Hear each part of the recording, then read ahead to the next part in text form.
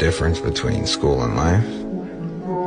In school, you're taught a lesson and then given a test.